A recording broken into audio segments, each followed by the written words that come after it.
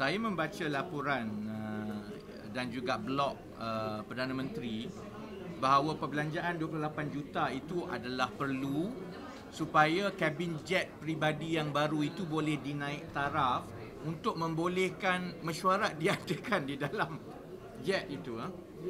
Um, saya pernah paparkan gambar-gambar jet sedia ada sebelum dinaik taraf. eh. Kalau tengok kepada gambar-gambar jet sedia ada, yang itu pun sebelum 28 juta ini, memang sudah ada uh, meja-meja mesyuarat pun. Malah jet itu uh, mempunyai dua bahagian. Satu bahagian di belakang ialah bahagian untuk tempat duduk yang mana kerusi macam uh, kabin jet biasa.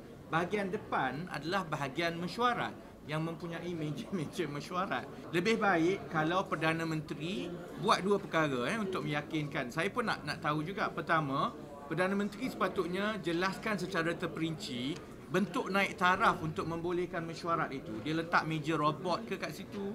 Dia letak saya tak saya nak tahu dia letak skrin besar ke apa yang 28 juta itu. Yang kedua, kalau boleh kita nak tengok gambar baru kabin yang yang kononnya kabin selepas 28 juta ini boleh um, digunakan untuk mesyuarat supaya kita boleh bandingkan gambar selepas naik taraf lepas the makeover of 28 million and before the makeover of 28 million. Saya akan komen mengenai um, jet berhenti di Kazakhstan esok. There's so many coincidences kalau mengikut jawapan daripada uh, Perdana Menteri it's a coincidence dia, dia berhenti di situ kerana ada masalah cuaca eh. so esok saya akan uh, tampilkan satu lagi coincidence dengan Kazakhstan uh, and and just to show what is the bloody obsession of this jet and Kazakhstan eh.